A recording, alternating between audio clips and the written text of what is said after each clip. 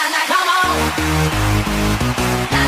she's trying to say is we go jam! We go jam!